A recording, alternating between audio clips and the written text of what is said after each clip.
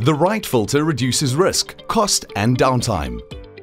Kleerflo industrial filters are robust and durable with no rotating parts, very few moving parts and no close tolerance elements.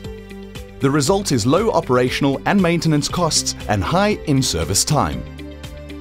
Minimal electrical input is required for control and instrumentation purposes only. The integral backwash cycle is powered by pneumatic or line pressure.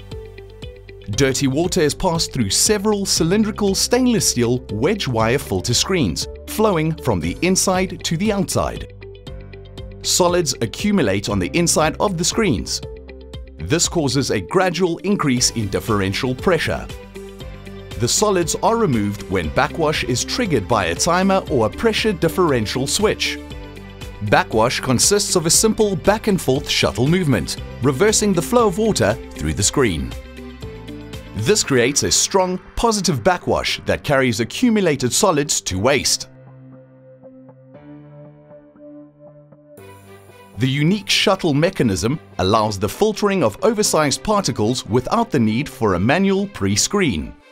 One screen is backwashed at a time. This means there's no process interruption and loss of flow is minimal. The Kleerflo design is flexible, a wide range of configurations and sizes are available to best suit your specific filtration needs.